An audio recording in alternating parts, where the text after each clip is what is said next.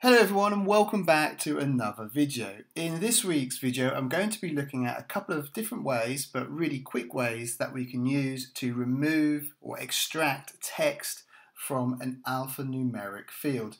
So you can see on the left here we've got a few examples uh, and these alphanumerics are, are all in different formats so you can see we've got uh, some letters at the beginning followed by numbers, letters, and some more numbers and obviously a single letter at the end there. And you can see we've got different variations on this. And we want to look or understand how two different ways of how we can extract these uh, the text so that we will remove the numbers so we're left with just the text. There's another way to put it. So I've got two examples. One is using flash fill and the other one is using Power Query. Uh, both of these are available from Excel 2013 or after, so uh, that should cover the majority of Excel users uh, or the versions that you have. So these are just a couple of ways. These are by no means the only ways you can do this, um, but I tried, wanted to try and focus this video around moving away from complex or extensive formulas and just showing you the actual built-in function we have in Excel to be able to do this uh, particular solution. So the first one we're going to be doing is using flash fill and it's probably the most easiest out of the two or any or any potential solution for doing this. All we need to do with flash fill is look at our first example here and we can see that we've got just, number and s at the end. So we need to type in here what our desired outcome is. Our, our desired outcome is. So for us that would be just uh, number and the s at the end, so just numbers. So what we've done is yeah, to put in there what our desired outcome is from start this starting point. All we then need to do is select this particular cell we go to our data tab and then you can see we've got flash fill just off the center here. If you click that button, you can see it's going to flash fill and fill our formatting what we've applied all the way down and you can see it's done exactly as we required. So you can see the one below, it's pulled out just the word apple, it's pulled Excel from the one below that. Uh, a bit of uh, gobbledygook for this one here, but then everything else has been pulled as required. So the only one thing to bear in mind with this is you need to pick a good example for your first one that you're going to copy down. So for us, we wanted to pick some, we know that there's going to be text at various points within this uh, string here. So we wanted to pick something that had text at the beginning, the middle and the end as our starting point so that we could flash fill that formatting all the way down. So with that in mind, it is the real simple solution to achieve what we wanted to do here. The only thing to remember with this is because there is no formulas or there's no connectivity here, obviously every time this data updates on the left, you're going to need to do that flash fill again on the right. Not really a big ask, but I guess if you had extensive data, then that is something that you probably need to bear in mind. The second option that we're going to look at is using Power Query. So you might have already been used to Power Query, uh, or if you're not, this could be a good introduction for you. So Power Query uh, allows us to do a number of sort of extensive uh, transformations with our data, and I say transformations because that's the one we'll be looking at today. If you haven't uh, seen Power Query before, then I'd definitely suggest looking into it more because it could save you a lot of time and remove a lot of complexity from your work. Uh, if you'd like to see us do a video focusing more around Power Query, please leave us a comment below uh, and we'll make sure that we uh, get to that and do that video so we can show you. Uh, well, I say do that video, it's going to be probably a multitude of videos, but yet we can obviously address that for you as well. So for Power Query, we need to first uh, convert our source information into a table. To do that, I'm just going to take a copy and go into another sheet.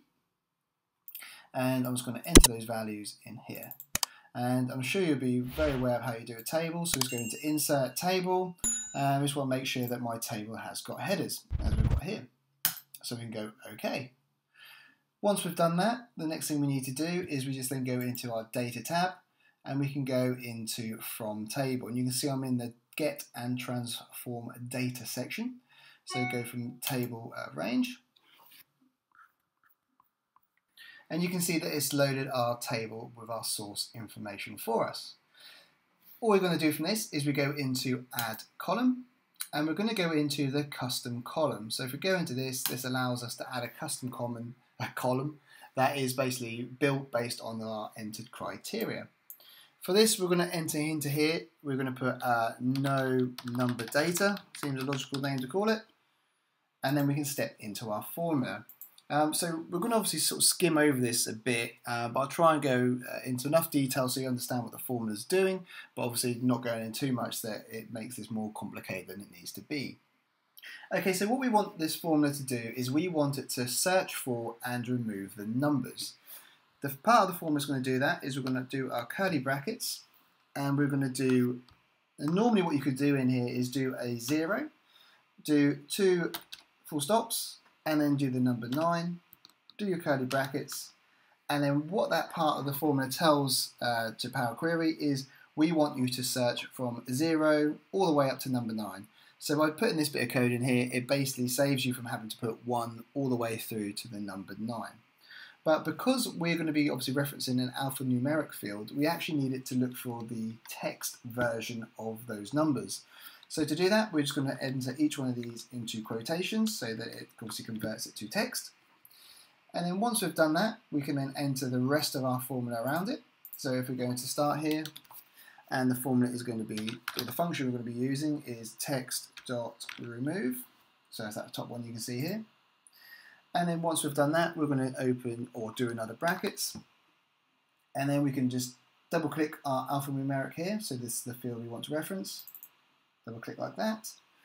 We'll then do a comma, and you can sort of see how the formula is now starting to come together. So we want to remove text from this field, and obviously these are all the, um, the text values or text number values that we want you to search for and remove. And then just to close or finish that off, we do a last bracket, select OK, and you can see how that has now converted those for us. So this is the final result. We can see that it's removed all of the text and just, oh, sorry, it's removed all of the numbers and just left, left us with the text values instead. So once we're fine and happy with that, we can just do close and load. And you can see it's obviously refreshed our table for us. And we've now got our desired numbers here. So all I'm going to do now, just to slightly cheat, is go copy, go into here, and I can now paste those into this value here. I'll just change the title there. But there you go, you can now see we've got our text values there as well. So in summary of that video, obviously the most quickest and easiest way to do it is by using the flash fill, but hopefully that serves as a bit of an introductory video as well to show you how to start using Power Query and the benefits of using Power Query. Uh, Power Query is potent, well, particularly of benefit if you're pulling data in from an external source or you're pulling in a lot of information and you just want to spit out that outcome.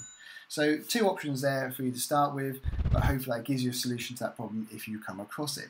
If you did enjoy today's video, please do give the video a like. It's uh, not only very beneficial for the YouTube algorithm, it also is very beneficial to me because it shows me the videos that you like and would like to see more of. If it's your first time of finding the channel or you have been on the channel before, please don't forget to hit the subscribe button and also hit that bell notification button so you are notified of our future videos. So thank you very much for watching and I shall see you in the next video. Before you go, don't forget to check out the other videos on our channel. You'll see everything from other functions and formulas through to tips and tricks. We've also created some playlists so you can see these categorized together. So make sure you check those out uh, and get all those useful information. And obviously, as always, don't forget to subscribe and hit that bell notification button.